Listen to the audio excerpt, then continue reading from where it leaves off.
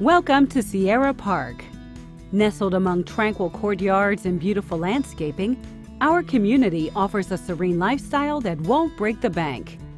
Whether you want to cool off in our sparkling pool, work on your tan in a poolside chaise, or explore the playground, we have something to appeal to everyone.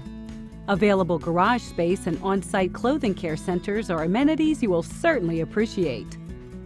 Our one, two, and three bedroom floor plans are designed for comfortable living, with light and airy living rooms adorned with cozy brick fireplaces, huge eat-in kitchens appointed with sleek appliance packages and ample counter and cabinet space, and spacious bedrooms with walk-in closets where you can retreat to peace and quiet after a long day.